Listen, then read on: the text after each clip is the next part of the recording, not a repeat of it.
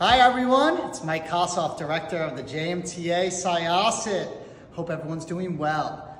I'm down here at our JMTA Fitness Center here at Syosset. This is where you could attend our free complimentary JMTA fitness classes with our director, Aaron Lopez. Monday through Thursday, 5 to 6, 6 to 7, Friday, 6 to 7, 7 to 8, and Saturday, 2 to 3 make sure you're taking advantage of this because be part of JMTA, we expect physical fitness at its peak.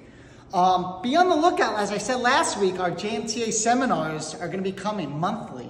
And let me tell you something, they, you, what we have in store for you is going to be fantastic. Also, on Wednesday, Dr. Stankovic, who is uh, the BU men's tennis coach, but also the JMTA mental toughness director, is going to be joining us at Syosset, working with our adults in the morning, our homeschool kids, and our JMTA players. So, also educating our entire coaching staff, so our coaches are just going to keep improving. Um, some tournament results. Alex Kedrin, finalist, great job. Alex Lerman, finalist in singles, but took the doubles title. Amazing job. Um, Louis Pareto, singles finalist. Great job. Josh Horowitz, title. Grace Parizel, title. Aiden Lerman, finalist. I didn't forget about you. Amazing job, everyone.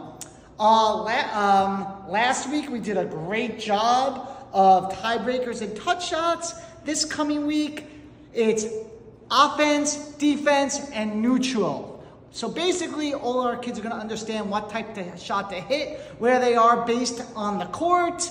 We're gonna make sure that we're not missing neutral shots. We're gonna make sure we're not going from defense straight to offense. Um, defense, guys, is becoming as important as offense nowadays if you watch the pro game. So we're gonna do it all. Let's have a great week. Week 10, we're ready.